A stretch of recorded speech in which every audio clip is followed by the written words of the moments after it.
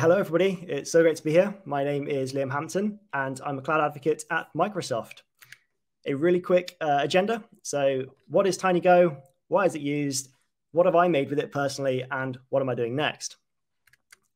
So, let's start with saying, what is TinyGo? It's a Go compiler for small places, as quite rightly stated on the README on the GitHub and tinygo.org. So, what does that really mean? It's a subset of libraries from the standard library in the core language package. And it's based on the LLVM compiler infrastructure, which is a collection of modular and reusable compiler and toolchain technologies. Now, hopefully my slide can illustrate this quite well. Uh, it is essentially cherry picks a number of really useful libraries from the main um, language, which you have to have installed prior to having it on your machine, such as IO, bytes, archive zip, and then it, it disregards things which are not necessarily seen uh, as important, like HTML templates or the net package. And this is purely because um, some of the 32-bit boards that you'll be using it on probably won't, you probably won't be using it for that. Um, so let's have a look at the CLI. Uh, it looks very, very similar to the Go CLI, uh, very similar commands. So you have build, run, test, just with a few added extras like flash when you want to flash your board, uh, GDB, uh, and so on. It's, it's pretty similar, same from same. What is it used for?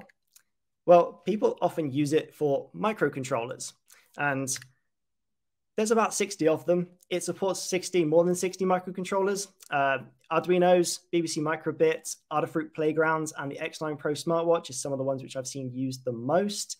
Um, they're really popular boards, and this is just a really fun way to get into IoT if you're a hobbyist like myself. It's also used with WebAssembly. Now, if you're not sure what WebAssembly is, then it is essentially lets you write your code. So in this instance, TinyGo, and pass it through a WASM compiler, which turns it into machine readable code. Uh, and then when you go to run the application through the web browser, you can, well, it runs it because most web browsers support this. And from that, you get near native performance of your web app, which is fantastic. So where do I personally use TinyGo? I use it on Arduinos. Now, a little sidetrack here. Uh, I bought a bunch of Arduinos uh, thinking, cool, I'm going to run some home automation. And boy, was I stuck when it came to coding them because I didn't know C++ or MicroPython or anything like that. I w- I don't use it in my day to day development. I use Golang. So I thought, light bulb moment, let's try and put Golang on a microcontroller, see what I can do. So to prevent my lovely houseplants looking like this, which uh, looks a bit scary, it's dying. In fact, that one's actually dead now. I created something like this. I created a soil moisture sensor. Um, and it takes some calculations. So it takes an input from the plant itself, takes it to the Arduino, does some cool calculations, uh, and then spits out some human readable output for me. That just essentially tells me I need to water my plant when it's getting thirsty and it helps my plant look like this, which is over my shoulder. It's growing quite nicely behind me. Secondly, another really cool project I've made is a night light. Um, this is taking a photo uh, resistor and, and it start when, when there's no light, then obviously the lights come on. And when there is light, then the LED lights are off. For those that you want to see the boards, um, it's just a breadboard, an Arduino with a couple of resistors, a few wires and LEDs. Nothing exciting, but it's the principle behind what you stick in your garden at night uh, with those solar panels on top. The syntax looks really cool. It's exactly the same as Go. Uh, so you have um, you've got your byte arrays, you've got your slices, you've got um, ranges. It's all the same syntax. It's really, really fun to get into if you know Go. So what next? What am I going to be creating next with TinyGo?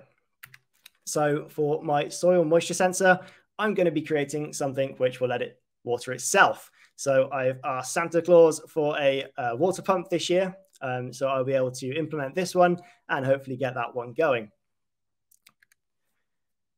For my nightlight, I am going to be implementing this in a letterbox, and that may seem a bit crazy. Um, however, for context, I live in a block of flats, and in the block of flats, uh, it's a real arduous task to have to keep running downstairs to check the post every day. So, to prevent me from running down those stairs every single time I want to check the post, I'm going to be putting something that looks like that in my letterbox. Uh, and that will just tell me that when Postman Pat has been and uh, delivered his lovely post, then I will be able to uh, get a notification. And through that, hopefully using MQTT IoT Hub in Azure, I will be able to do just that. And there's a lovely little GIF for you there.